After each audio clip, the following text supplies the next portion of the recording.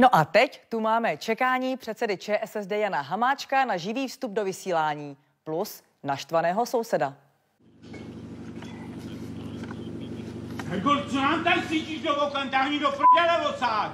Sousede v klidu, to je, to je televize. Ne Vydržte, do nich! vydržte chvilku. Ty 10 vole. minut. No, já jsem to říkal, že bude průser. Ty ne, jo.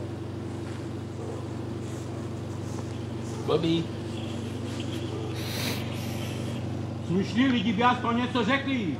A ne tady takové, ta- debile takovýhle ty. Já se omlouvám, prosím vás. Já tam takhle. Tahni do prdele už! Nechceš to otočit dál. Točit Ale nechaj táhnout do prdele. Oni jsou dobytkové a nic jiného.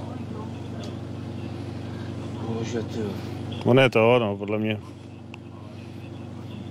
Protože mě serou takovýhle hovada. Co pak musí svítit do oken debilové? Tak se nezlobte.